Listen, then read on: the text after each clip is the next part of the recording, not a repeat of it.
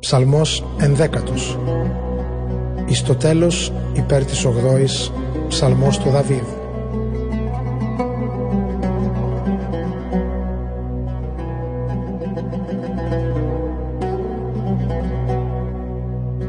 Σώσον με Κύριε ότι εκλέλει πενώσεως ότι ολιγώθησαν αλήθεια από τον ιόν των ανθρώπων. Μάταια ελάλησεν έκαστος προς τον πλησίον αυτού χίλι δόλια εν καρδία και εν καρδία ελάλησε κακά.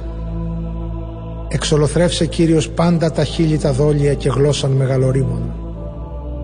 Τους υπόντας την γλώσσαν ημών μεγαλυνούμεν, τα χίλι ημών παρημίνεστη, τι ημών Κύριος έστιν, από της ταλαιπωρίας των πτωχών και από του στεναγμού των πενήτων, νυν αναστήσομαι λέγει Κύριος, θύσομαι εν σωτηρίο, παρησιάσομαι εν αυτό.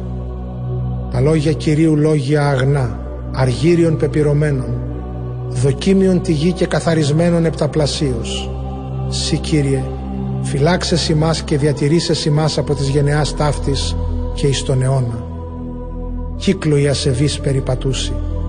Κατά το ύψος σου επολιόρισα στους ιούς των ανθρώπων